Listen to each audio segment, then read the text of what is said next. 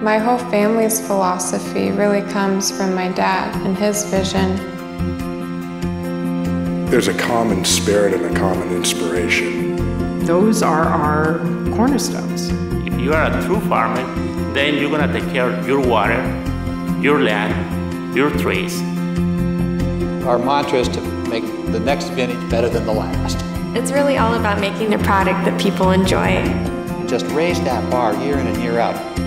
That's part of the quest, and that's what keeps us committed to continuing the tradition of Kendall Jackson.